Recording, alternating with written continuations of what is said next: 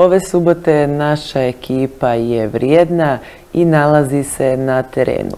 Pogledajmo gdje se to nalazi naša jela. Dobro jutro, Jelo. Odakle se javljate ovoga jutra? Poštovani gledalci, dobro jutro. Dobro jutro Jovana tebi, dobro jutro Hercegovino. Ovoga jutra nalazimo se na stadionu Leotara, Planski. Kao što vidite, iza nas su mlade atletičarke koje upravo imaju svoj trening. Rekoh, Planski smo ovde, pored mene je jedna mlada, perspektivna atletičarka, Jovana Kržić, s kojom ćemo razgovarati ovo jutro. Jovana, dobro jutro i dobro nam došla. Dobro jutro i vama. Evo Jovana, nedavno je bilo e, prvenstvo Republike Srpske, ti si ostvarila zapažen rezultat, e, znači prvakinja si Srpske, pa možeš nam reći u kojim to disciplinama i kako je bilo? E, na, na takmičenju koji, koje se održalo, mislim, prošli vikend, eh, sam osvojila tri zlatne medalje eh, u disciplinama 100 metara preponi, 300 metara i 100, 4 puta 100 metara štafeta. Na 300 metara nisam baš ovaj, zadovoljna rezultatom, pošto je malo loši nego moj prethodni, mislim, moj lični rekord, a na 100 metara prepone sam ovaj, lični rekord oborila e, sa rezultatom 16.41 e, i tu osvojila zlatnu medalju i također na 300 metara i na 4 puta 100 metara štafeta. Reci mi, kakva su tvoja prethodna očekivanja bila i kakva je uopšte konkurencija bila? Pa, e, nisam baš mislila da ću to svojim tri zlatne medalje, ali sam imala, e, ali sam se nadala najbolje i znala sam da, da ću osvojiti neke medalje, ali sad nisam znala baš da ću da tri zlata, ali e, sa puno trivuda sam osvojila tri zlatne medalje. A, konkurencija nije bila toliko nije bilo toliko lako da osvojim sad te tri zlatne, ali nije bilo toliko teško, pošto je to republičko prvenstvo. E, ja moram da posjetim da si e, ti ranije na izboru sportiste e, dobila i nagradu kao perspektivni sportista. E, reci mi da li je možda i to priznanje bio ti jedan dodatni vjetar u leđa da e, nastaviš tim putem i da budeš još bolja? Pa jeste. To priznanje je bilo kako ste rekli, vjetar u leđa i to me je poguralo da još bolje treniram i da nastavim. Ja sam malo prekinula tvoj trening, pa neću te puno zadržavati. Još za kraj, samo da ti pitam, da li je atletika tvoj prvi sport i prva ljubav? E, jeste. Jeste, to mi je bio e, prvi sport koji sam trenirala i prva ljubav. Mislim da neću prestati to treniram. Mislim da je to neka porodična ljubav, je li tako? Da, jeste. Moramo Da, da napomenemo i tvoja majka je bila uspješna atletičarka. Jeste, jeste, ona i dalje e, i dan danas drži republički rekord u skoku u vis. Hvala ti puno Jovana na izvojenom vremenu i želimo ti puno uspjeha i u narednom periodu da nastaviš ovim započetim putem. Hvala, vidimo se.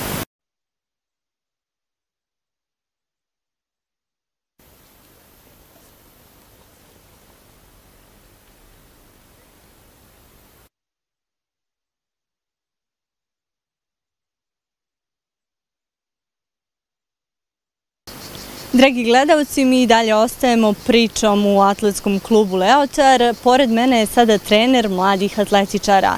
E, dobro jutro i hvala vam na izvojenom vremenu za nas i gledalce Herstek televizije. E, dobro jutro, ovaj, dobrodošli na naš stadion Police. Mogu slobodno da kažem našu drugu kuću, e, mene i mojih atletičara. Evo, ja sam sa Jovanom razgovarala o njenim uspjesima na republičkom e, takmičenju, ali ja znam da ona nije jedina zlatna atletičarka koju vi imate u klubu, pa možete li mi vi reći malo više o uspjesima ostalih atletičara i kako je uopšte bilo? Pa, naš klub broji oko 40 članova e, raznih uzrasta od e, Cicibana pa sve do juniora i seniora. Naši atletičari su ove godine zaista ostvarali zapažene rezultate u svim uzrastima. Tipa Srna Danojelić osvojila je postala je dvostruka prvakinja države, kao i Vasija Rebac, uzrastu Cicibana, mlađi pioniri također, Sara Mijanović koja je zaista fenomenalno trkom na preponama postala prvakinja države, kao i njena kolegica iz kluba Sara Ratković. To je također kategorija mlađi pioniri, dok je za starije pionire Jovana Kržić bila vice prvakinja države. Malo je falilo da postane prvakinja države, stotinke su odlučivale. Također imamo Dijanu Kovač koja je juče otputovala na Balkansko prvenstvo sa reprezentacijom Bosne i Hercegovine i tu očekujemo odličan rezultat od naše Dijane. Također imamo što se tiče mlađih juniora imamo na dvoranskom prvenstvu također svi ovi takmičari su osvojili slične rezultate, to jeste bili su prvaci države, vice šampioni, Bojan Dolina tipa, on je bio vice prvak države u bacanju kugle, Anastasija Janj također 60 metara prepone, također u dvorani. Recite mi kakva je uopšte konkurencija bila na tom republičkom prvenstvu? Konkurencija na republičkom prvenstvu je bila solidna, organizacija je također bila odlična, takmičenje se odvijalo na Sokocu koji je organizovao atletski klub Glasinac. Sve je prošlo kako treba uglavnom i vratili smo se sa dosta medalja sa takmičenja. Je li to bilo očekivano? Pa jeste bilo očekivano, pali su i neki lični rekordi od atletičara, što jeste svrha atletike.